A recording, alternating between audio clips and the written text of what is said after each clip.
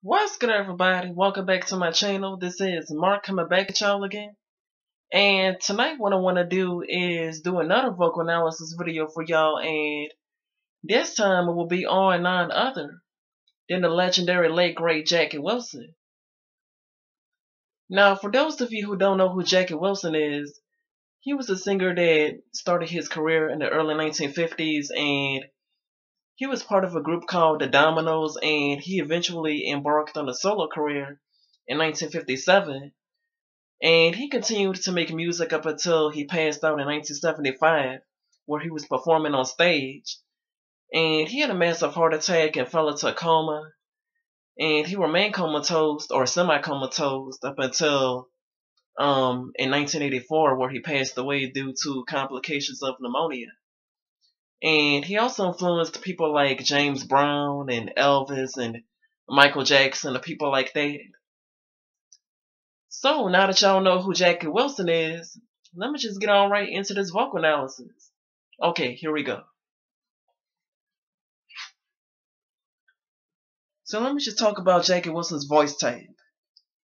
I think that he was a lyric tenor and the reason why I think that he was a lyric tenor as opposed to being a leg leggero tenor or a leg leggero tenor is because um, even though he had a very agile voice and he had a very fast vibrato, I don't think it was agile enough to be considered to be a leg leggero tenor or a leg leggero tenor, however you pronounce it.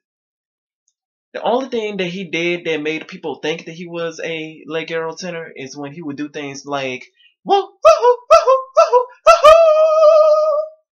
Excuse my voice, by the way. My voice is not in good condition.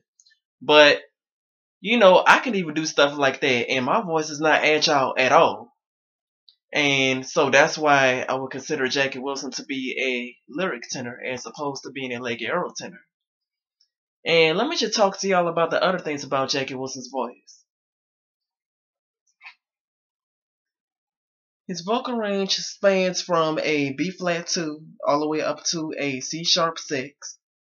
Although it said on Wikipedia that he had a 4 octave range, but he only showcased 3 of those octaves.